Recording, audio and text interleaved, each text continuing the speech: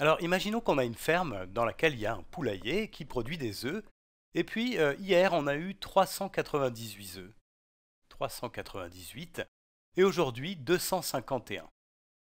Et disons qu'on a besoin de savoir combien il y a eu d'œufs en tout euh, sur ces deux derniers jours. Alors évidemment, une manière de faire serait de poser l'opération 398 œufs le premier jour plus 251 œufs le deuxième jour. Donc on pourrait calculer le résultat de cette addition et trouver le résultat exact, donc le nombre d'œufs exact qu'il y a eu pendant ces deux jours. Mais disons qu'on n'a pas beaucoup de temps, qu'on n'a pas de papier sous la main et qu'on a envie de faire ce calcul de tête, mais qu'on n'a pas vraiment besoin de savoir quel est le résultat exact, mais simplement de savoir à peu près combien il y a d'œufs au total. Alors le mot-clé ici, c'est estimer. Hein. C'est-à-dire qu'on ne va pas faire le calcul exact, on va juste trouver à peu près à quoi ça correspond. Donc on va noter ça comme ça, plutôt avec ce symbole-là que tu as peut-être déjà vu, qui veut dire à peu près égal à, ou bien environ égal à. Alors essaye de le faire de ton côté, mets la vidéo sur pause et puis on verra comment est-ce qu'on peut faire ensemble.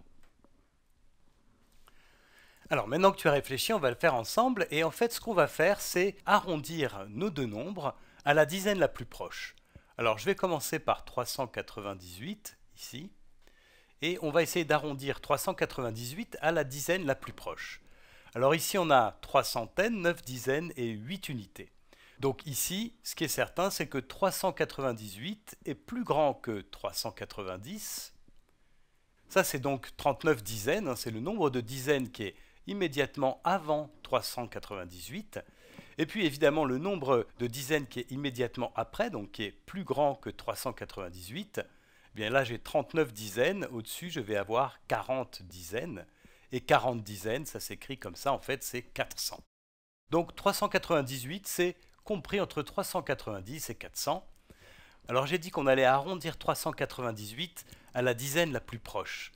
Donc c'est lequel? C'est Est-ce que c'est 400 Est-ce que c'est 390 ben, Évidemment c'est 400, hein, puisque 398 est beaucoup plus proche de 400 que de 390. Si tu as vu les vidéos sur les valeurs arrondies euh, qu'il y a sur la CAD Academy, tu dois te rappeler que quand ce chiffre des unités est supérieur à 5, on arrondit à la dizaine supérieure. Et quand au contraire le chiffre des unités est inférieur à 5, on arrondit à la dizaine inférieure. Donc ici 8 c'est plus grand que 5, ce qui fait qu'on arrondit à la dizaine supérieure qui est ici 400.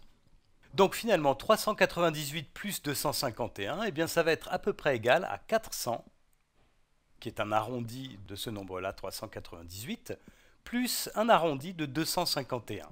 Alors là, je vais le faire aussi comme tout à l'heure. 251. Ici, j'ai 25 dizaines et une unité. Donc évidemment, ça sera plus grand que 25 dizaines. 25 dizaines, ça s'écrit comme ça. C'est 250. Et ça sera plus petit que 26 dizaines. Et 26 dizaines, je l'écris comme ça. 26 avec un 0. Alors cette fois-ci, tu vois que le 1 qui est là est plus petit que 5, donc on va arrondir à la dizaine inférieure, c'est-à-dire à 250. Hein. Effectivement, 251 est plus proche de 250 que de 260. Donc on va arrondir à ce nombre-là, 250. Ce qui veut dire que notre addition qui est là, elle est à peu près égale à 400 plus 250. Et 400 plus 250, ça fait 600 50. Voilà, donc tu vois que très rapidement, on arrive à estimer à peu près le nombre d'œufs qu'il y a au total, donc à estimer à peu près le résultat de cette addition-là.